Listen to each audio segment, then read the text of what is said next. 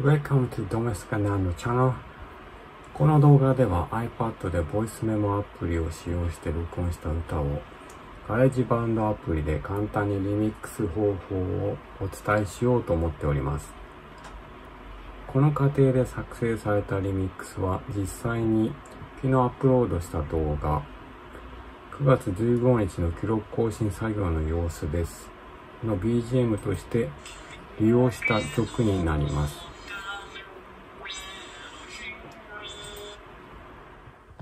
まずボイスメモの方を開きまして、えっと、共有アイコンをタップしてコピーをします。その後外事版のアプリケーションの方に移りまして追加のボタンを押しまして、えー、と今回はトラックの方を上の方で選択してオーディオレコーダーの方も選択します。でこちらで3本横のアイコンの方をタップして時系列表示をします。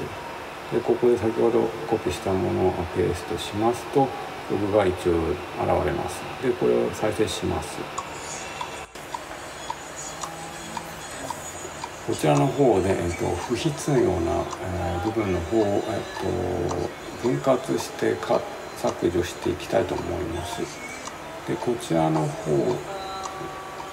なんですけどあの今動いてる矢印の方を、えーと、分割したい場所までまずは、えーと、合わせていきます。で場所が決まりました。えそちらの方を曲の方を一回タップしましてあと分割の方を選択します。そうしましたら、えっと、ハサミの方を一回下にジョキッとしまして、えっと、不必要な部分を、え削除していきます。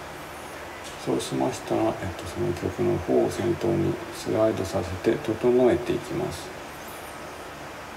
えっと、8バーございましたものを、えっと、6バーの方に短くして、えっと、見やすくします。もう一回再生しますと。え大体あのこちらの方で、えっと、いいと思いましたので、えっと、ここからあの FX の方のアイコンを押しましてえーと、リミックスの方をしていきたいと思います。そういったあの枠内で、えーと、指をなぞりますと、え曲の方を自分だけ変化させることができます。隣の、えーと、波のギザギザの方も、えー、と隣の変化がございます。その隣の方も、えー、といろいろな音が変化することができます。でリピーターの方ですと、えーこちらの方は曲のある部分がリピートされるようになりますこのように、えっと、いろいろ用いて、えのリミックスの方をしていきたいと思います。でもちろんこれを、えっと、指を2本、えっと、同時に、えっと、触ったりできますしあのフィルターとリピーターの方も、えっと、同時に、えっと、動かすことができます。でこちらの方をいろいろ試していながら、えっと、自分に合ったリミックスリミックスの方を、えーと、始めていければ、えーと、いいと思います。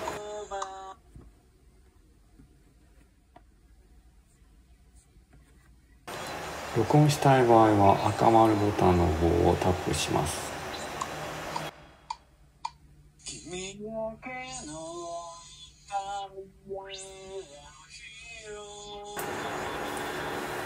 フィルターとリピーターをの枠内で、え自由に指をなぞりながら曲の方を変化させていきます。満足できるものができましたら停止ボタンを押します。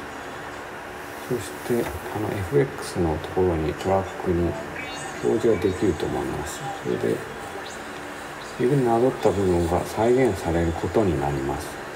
お茶のリミックした曲をまたボイスメモの方に追加していく作業をしたいと思います。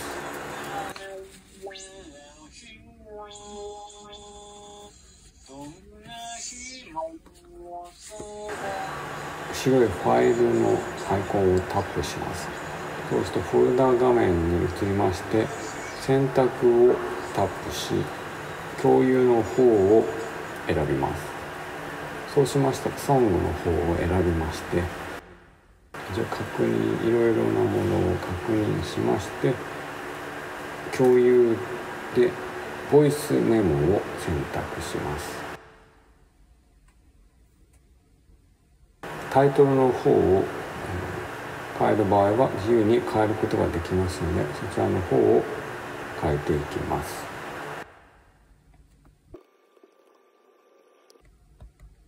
タイトルの方をが変えられましたらあとは